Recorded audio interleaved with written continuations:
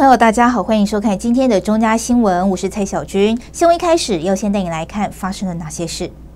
蒋中心在。画面上是国际狮子会三百 F 区基隆木兰狮子会运用国际基金会 DCG 方案，捐赠两百四十五个热水快煮壶，帮助基隆家福中心所扶助的家庭，包括国际狮子会三百 F 区进乃镇总监、木兰狮子会会长向玉红、第一分区主席施连发。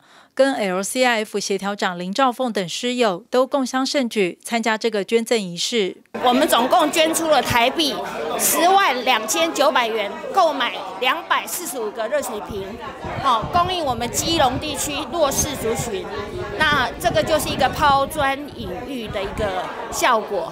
呃，因为我们之前呃，今年三月份的时候，我们就跟基隆家福中心有联络。那他是跟我们讲说，他们因为那个插电式热水瓶是消耗品，他们很容易消耗这种商品，所以他们希望我们就是说，如果能够捐赠那个插电式的话，让他们那个在冬天的时候，刚好现在是夏天嘛，冬天的时候可以有热水。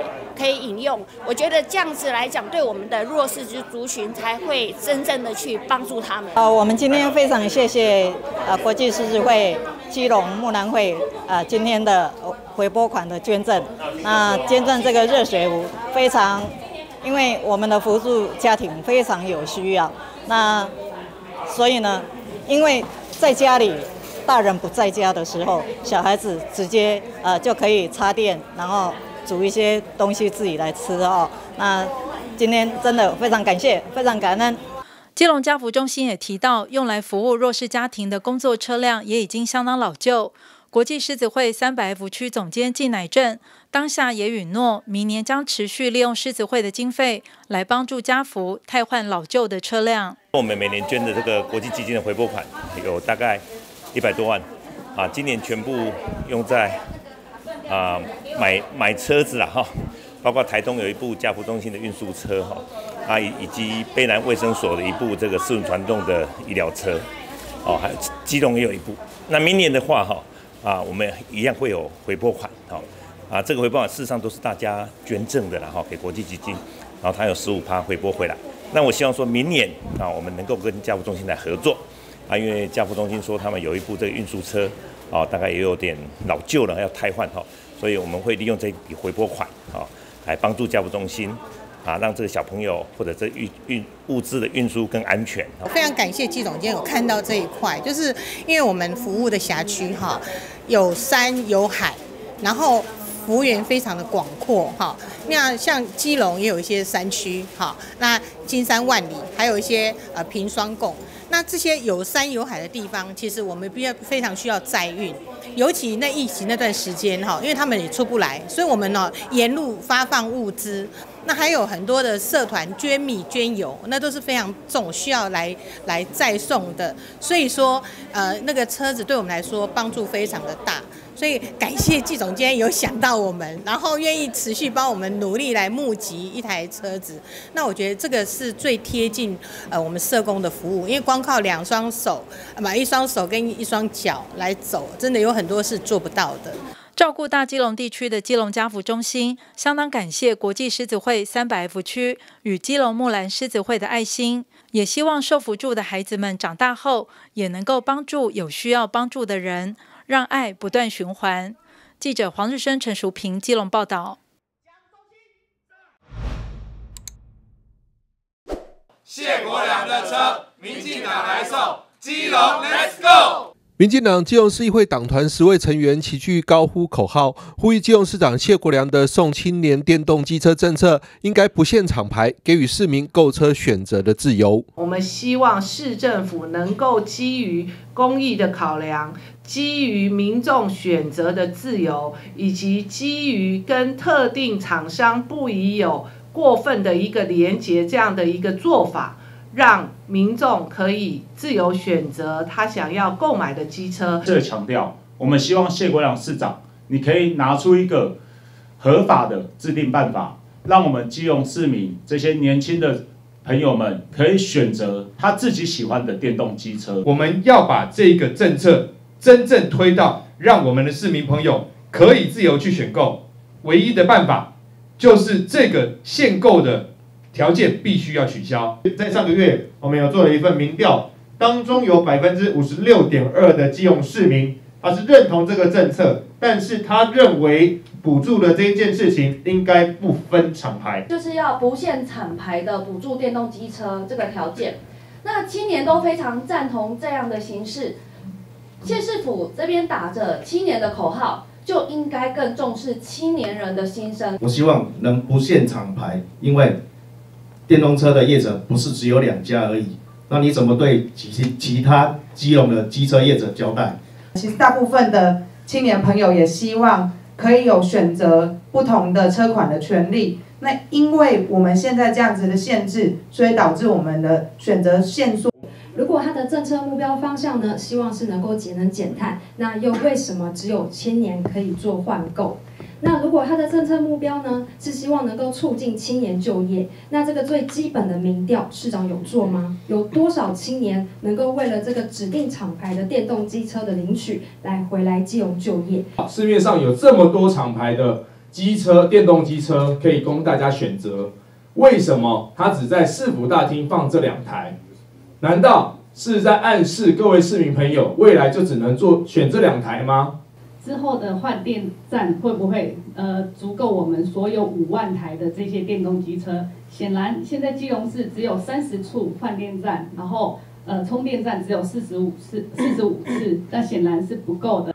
对于民进党基隆市会党团方面的呼吁，基隆市政府发言人于志明也做出回应，表示将充分思考，希望能更完善这项政策。议员说的指正也有他的道理，我们也会充分的思考如何去完善这一项政策。为了落实基隆市长谢国良选前承诺，基隆市政府向市议会提出三亿八千三百四十万元的追加预算案，预计补助共一万两千辆，每辆补助三万元。议会方面已经决议将这笔预算提交大会审查。记者张启腾基隆报道。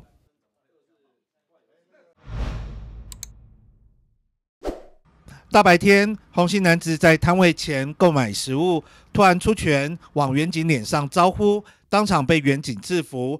新一区红姓男子酒醉滋事，影响地方秩序，警方已规划专案勤务，防止其脱序行为。三十一日下午，红源复因酒瘾发作，竟意图挥拳攻击远警，幸未成伤。警方依违反社会秩序维护法，依法送办。这名红姓男子日前被邻居控诉，两年来不断攻击邻居，只要一喝醉就会上演脱序行为。被他骚扰的人还特别成立自救会，透过手机软体通报他出没地点，以免又遭到攻击。因此，警方每天派出十二名员警，只要他一出门就轮流戒护。很多次了，他常常进出警那个派出所啊。之前这边有人联署，联署要要要要管，要他去强制那个啊。喝完酒之后，下午的时候，他通常都是他发作的时候。那今天就是他们走在路上，两个远景一前一后的跟着他，结果他突然转身向他后方的远景来攻击。那还好，这个警察他随时保持警戒，没有受伤哦。但是像这样的一个危险人物，还是。要非常小心处理。那我们也非常感谢卫生跟摄政单位马上介入，那呃会提早在今天赶快把他送到这个两级医院去就医。这项贴身监护工作还实施不到一个月，现在就连远景也遭到攻击，仿佛是一颗不定时炸弹。在我们东信路跟东明路呢，红姓男子这个长期的，就是三不五时就会来挥打民众。其实民众呢，他们都心里惶惶的，就是怕有一天会被这个红姓男子给攻击到。那陈怡在警察局的业务报告也是说，其实并不是由警方警察局来针对这个业务，应该是由呃我们的社会社会处跟我们的卫生局来一起来介入，看他是不是要戒酒瘾，还是要做什么样的安置。并不是什么事情都推给警察来办理。那今天呢，我们呃警察同仁呢也被红姓男子给攻击了。那的确，他的确是要来做这个安置的处理。这一回，红姓男子挑战公权力，连监护的警方都出手攻击。警方决定将人强制就医，希望用医疗方式戒除他的酒瘾，不要再有人担心害怕。记者黄少明基隆报道。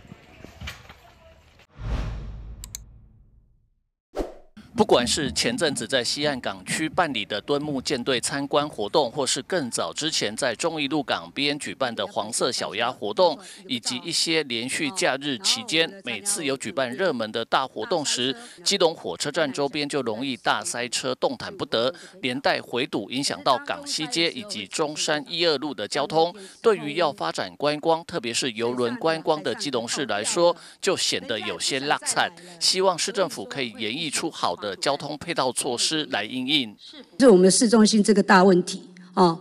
每当我们办大型活动的时候，哦，或是上下班时候，我们的市中心都会拥塞。这拥塞哈，也是我们长期以来的一个大困扰。那要如何去改善？我要请交通处再帮忙一下，哦，看有没有什么配套措施。呃，这也都是民间一直在跟我们反映的，哦。那你知道吗？我们从港西街的邮局到我们东岸停车场，八十公尺里面，我们要花多少钱、多少时间才能过去那边？一般来讲，应该是十分钟、至五分钟就可以到。可是当拥塞的时候，会产生多少？像那一天施伟正议员讲的，可能要半小时，可能要五十分钟，可能要一个小时。所以说，这个拥塞的问题，像以前我们黄色小鸭，我记得。哇！他个大，他个中山二路遐去啊！啊，后摆咱是观光城市呢，那阵啊，那五六台进来时阵呢，啊，那个拥塞怎么办？我们要预防，先事先去把它准备好嘛，对不对？不能等事情发生了，我们才来准备，我们这是来不及了，钱已经跑掉了，人家也不想再来了。所以说，我们的交通真的要再去思考一下，要如何进展。要找到我们的配套措施，那麻烦交通处长，谢谢你。你看，单单一个敦木进来，人来归堆的要排队排刷，看刷伊就个走啊，哦，然后我们的长寮河两边大塞车，市中心也一样，啊，这个乱象啊，真的不是我们一个台湾之首哦，因为台台湾头哦。那安内正给我点嘛个拉菜，那当然我们现在新的团队上呢，我希望，呃，我也知道你们都很有能力哦。那我希望我们看，我们大家来共同演绎，看如何让金融市更好、更方便、更美。郭美秀对新的市政府团队有信心，希望可以尽快做一些应应的配套交通措施，避免大塞车的情况再发生。记者吴俊松基隆报道。十五分钟就可以基隆市议员连恩典在市长市政总咨询中，以自己在四月份在暖暖举办的公园野孩子活动为例，建议市政府针对六岁以上年纪大一点的儿童，可以举办类似的活动。同时以宜兰为例子，建议市政府可以找适当的地点，盖有遮雨棚的活动空间，作为孩子游乐的场地。上次我在跟市长我们在做临时会的时候，有我有提到。六岁的孩子，好，那个要做什么事情？那个可以帮我放第第一张吗？好，大一点的孩子，直接在空地的地方就可以这样玩，好，我想这个是一部分，好，那这个是也就是我在今年四月七号办了那个公园野孩子活动之后的回响。现在社会处也派社培的人力。来到公园，带这些诶，礼拜二、礼拜四、礼拜三都有，带这些孩子就玩这些很简单的，也不用什么特别的大的游具。你看就这么简单，小孩子玩疯了。大一点的孩子，那你如果像大点孩子，你固定的游具在那边，他玩一玩他就觉得腻了。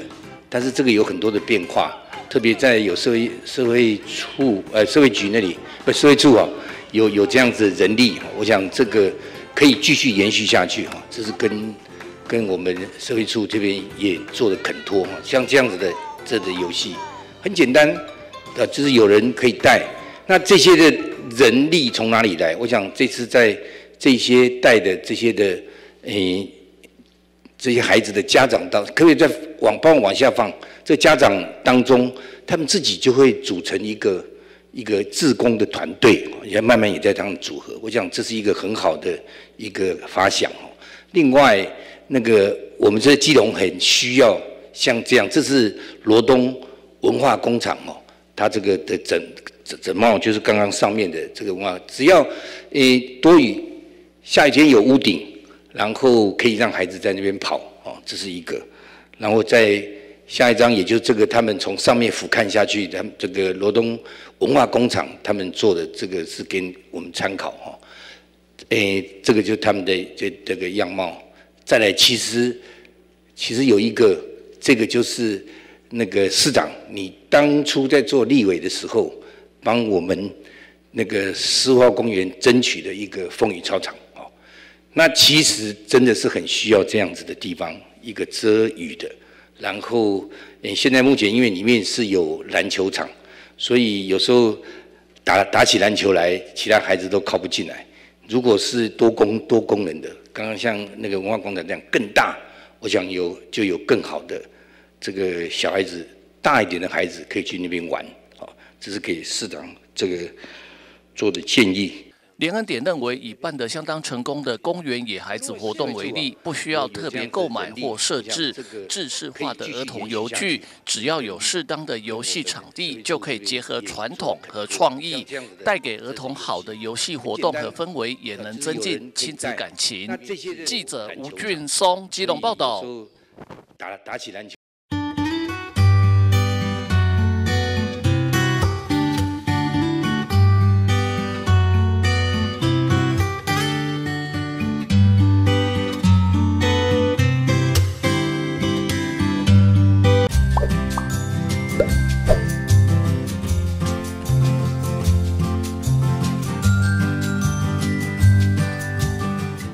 想知道基隆市政府各单位正在推动哪些重要政策、大型活动或是社会福利措施吗？关心市政次会来节目特别邀请了产官学界来讨论各项政策最新发展，也欢迎民众表达意见，让市民可以快速掌握基隆脉动。欢迎锁定每周三晚上九点基隆第四频道，关心市政奏回来。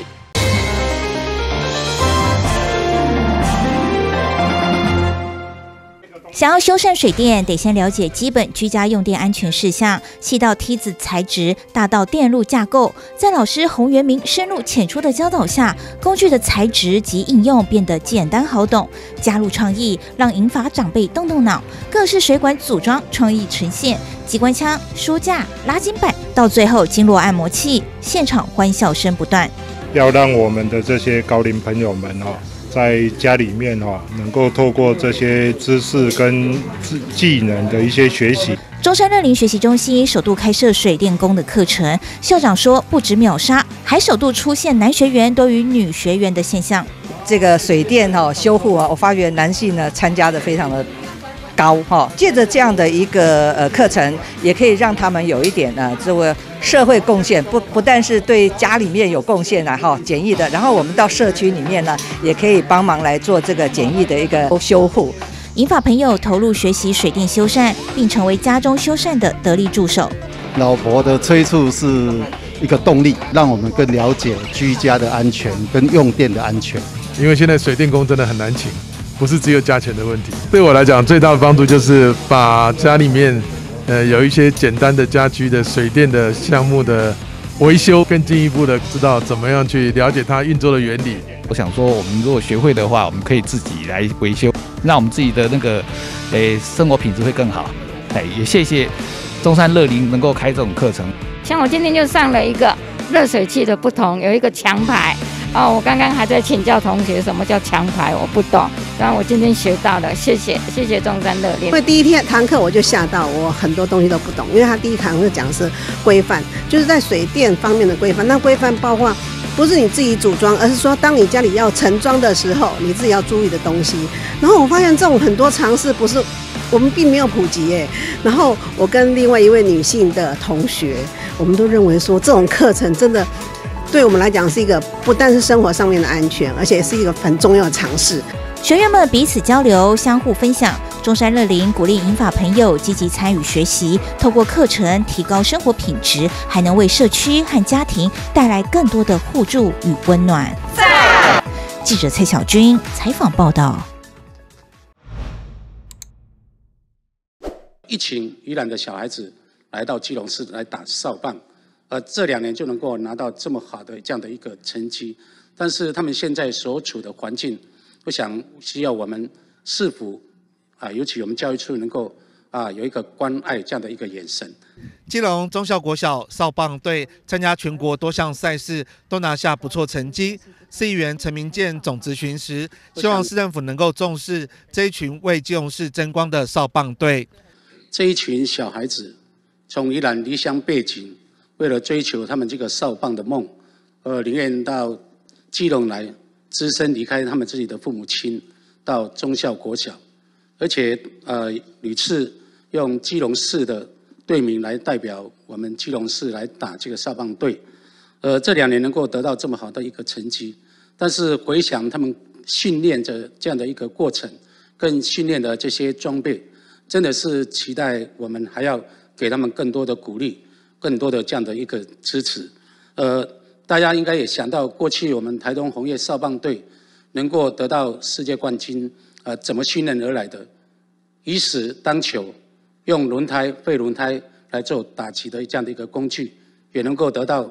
世界这么好的这样的一个名次，所以这一点是不是请我们呃市长对于这样的一个少棒队也好，甚至于对我们的棒球这样的一个球赛啊这个球类的运动，呃市长是否有自己的一个构想？这样子的一个球队，我们希望就是集中栽培这个啊学校，因为有时候你不可能把每个学校的棒球孩子都打得很好，但我们基隆我们集中在一两所的。国小里面，然后我们把企业的资源引入，然后我们集中把好的选手把它引入，然后我们想办法做一个明星少棒队出来。那听起来中校国小的确就是这个是有这样的条件。不过前一阵子发生了这个事情以后啊，大家也都很关注后续的发展。那我想我会持续的请教您，然后也咨询我们，包括这个渊祥处长跟美兰处长，我们希望能够把基隆明星国小。少棒队这样子的一个理念来把它完成，这其实是我没有列在证件的证件呐，哦，那因为那时候没有列在证件，也有不同的考量。我们是很希望未来能够来做这件事情。本市有很多的小孩子，呃，就是喜欢棒球，但是没有这个完整的、比较完整的这样的一个球队，能够让他们留在基隆打球，所以他们宁愿把这个小孩子送到戏子，我们隔壁的新北市的戏子，来去培养这个一个少棒的队伍。甚至于到秀峰国中有一些啊棒球队，有时候他们都会到我们市立棒球场来做练习，很多都是我们基隆市的小孩子。家长为什么愿意情愿每天一大早送过去，然后再上班？就是期待是我们基隆市真正能够有一个比较完全的这样一个少棒队的这样的一个组织。很高兴市长今天能够提出这样的一个构想，而且能做这样的一个大力支持。我们期待我们基隆市真正有这样的一个明星的一个少棒队。记者黄少明基隆报道。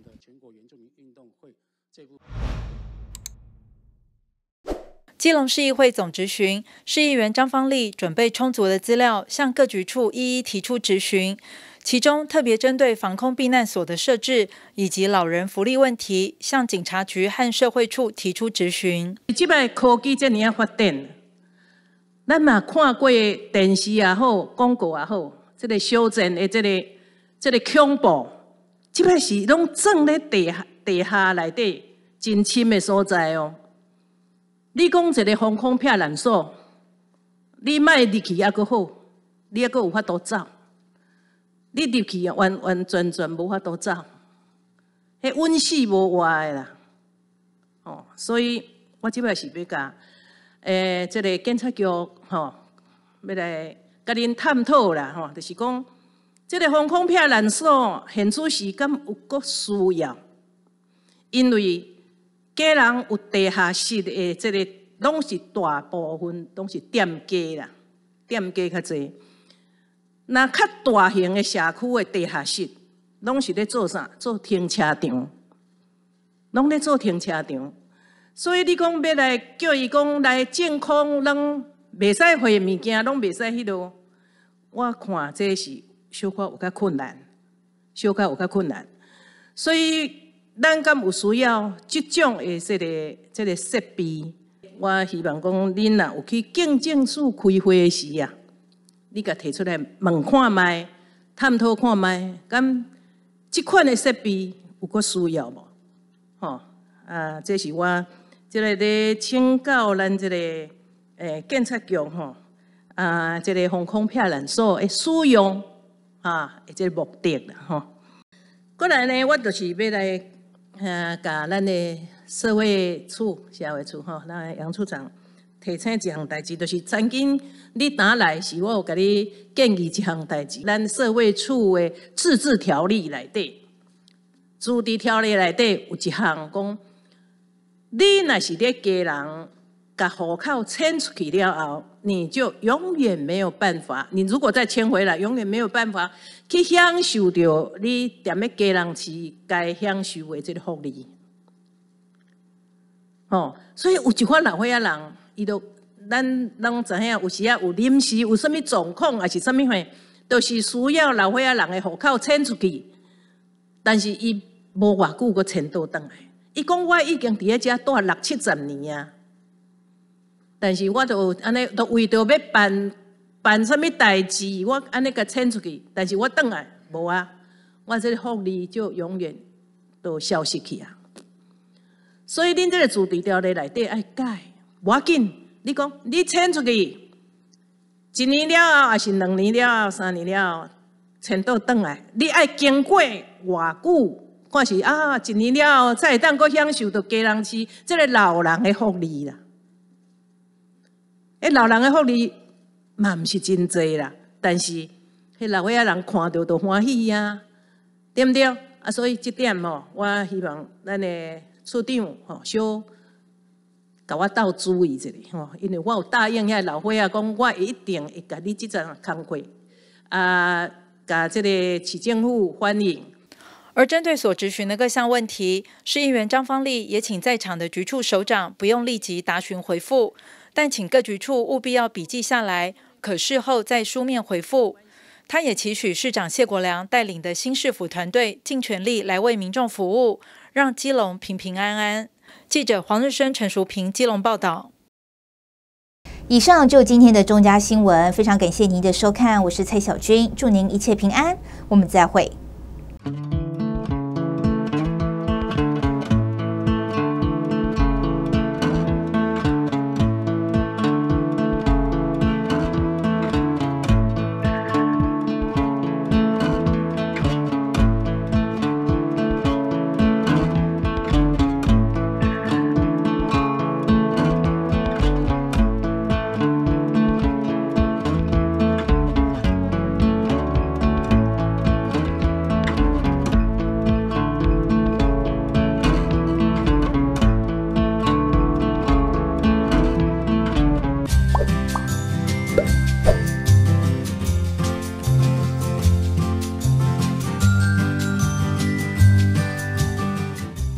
知道基隆市政府各单位正在推动哪些重要政策、大型活动或是社会福利措施吗？关心市政自回来节目特别邀请了产官学界来讨论各项政策最新发展，也欢迎民众表达意见，让市民可以快速掌握基隆脉动。欢迎锁定每周三晚上九点基隆第四频道，关心市政奏回来。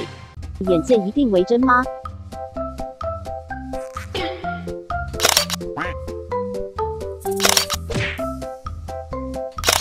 我们换个角度来瞧瞧。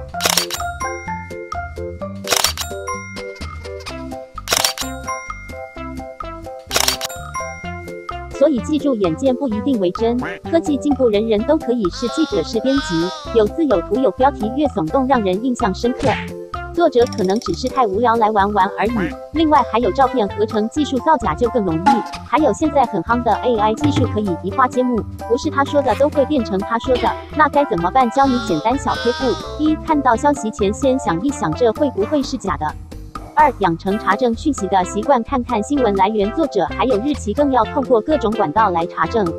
破解假讯息行动四不一要：不要只看标题，不要分享，不要按赞，不要惊慌，要查证，要查证，要查证。中嘉集团关心您。